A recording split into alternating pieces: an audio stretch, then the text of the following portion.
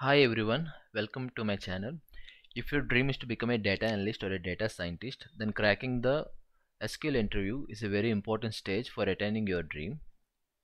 My name is MLV Prasad. I'm a mentor for data science and analytics. I can help you overcome this obstacle by explaining all the various questions asked in the top companies which are readily available at the LeetCode platform. All my code solutions for these questions are available in my GitHub repository. The link for that is available in the chat description below. In addition to that, I have segregated all the videos in my channel into five playlists, namely easy type, medium type, hard type, only the premium quality which you get by paying in the LeetCode, and also all questions including premium questions ordered by sequence. Okay, let's deep dive into the question we are trying to solve today. It is question number 1484 type easy group sold products by the date okay? Let's go to LeetCode. I will explain. Okay. It is already asked in adobe okay? And some startups. They have given the schema of activity table. There are no primary key for this table okay?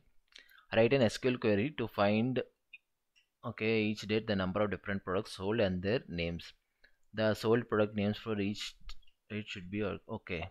What they want is per each date what are the products they sold they want and they should be ordered. Lexicographically means alphabetically increasing order it should be ordered by.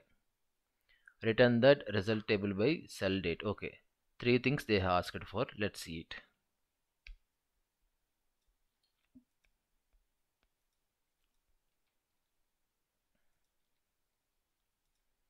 Okay let's say let's group by sell date. You can see 2030 2530 these things are there. And 061 are these two things. And uh, 062 yeah these two things are there if you see right? Now first thing is they have grouped by this sell date and they have counted how many unique things are there. For example you can see here one unique thing headphone basket t-shirt. Three unique things are there for sell date okay? And again for pencil i mean 0601 it is pencil and basket. Two unique things are there. But for 0602 you can see that mask is there repeated. So the number of items is 2 but distinct is only 2 so distinct is only 1 total is 2 1 okay now what they done is usually when we do group by we can only aggregate the numerical functions using aggregate functions like sum minimum maximum etc but we can also group by the non-numerical columns which are categorical columns. For example using string aggregate. Okay. Now what we need to try is first of all we need to take only the distinct sell date and product date. If you see this uh, mask and everything it is repeated twice. It was not counted into that. After that they have taken the only unique things. They grouped by sell date. They have counted how many number of times number of things are there. After that they have added all the things which are there in the product table in the increasing order of first letter alphabet if you see it okay? Bible pencil. Mask is there only once so they have done that one. Let's write the syntax for that from activities table group by first of all we want only unique things right? Yeah. Select distinct sell date comma product from activities okay? Now we remove the duplicate things keep this as subquery. Now do let's what we want to do. From this table let's give some alias name table1 we want to group by what in this distinct table? Sell date. Okay we got the unique uh, items from this table. We are grouped by sell date. And what we want? Sell date. Select sell date. Number of count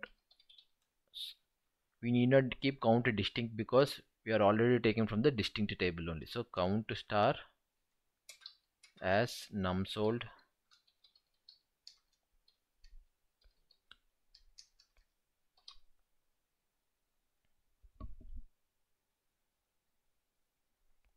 And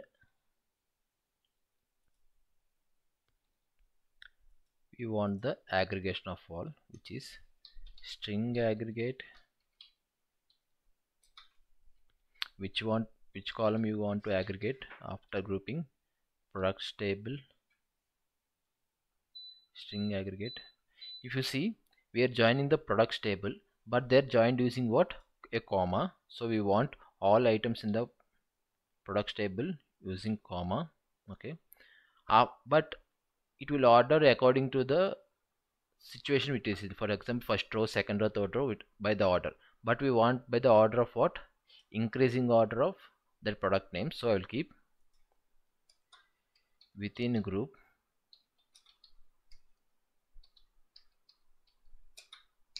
Order by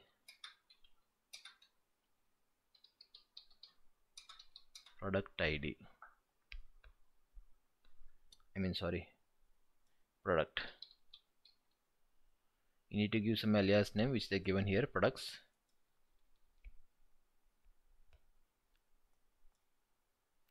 let's run it again.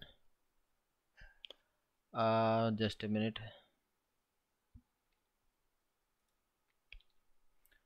I'm sorry sorry. It, is, it should be inside this one because it is a string aggregated function. Within group what we need to we need to keep here.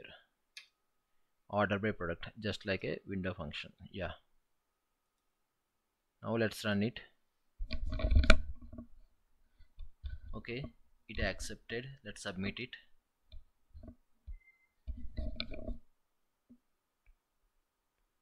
okay it got submitted. But if you see they have asked one more condition also. You need to keep that.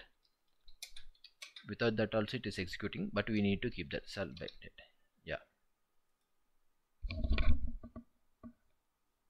Okay our methodology is accepted by all the test cases. Thanks for watching my video. If you want more detailed explanations like this please subscribe to my channel. It will motivate me a lot. And share it with your study partner try to be as disciplined as possible complete all the videos which are there in a different segregated playlist and uh, try to do whatever you can. Just don't give up. Keep practicing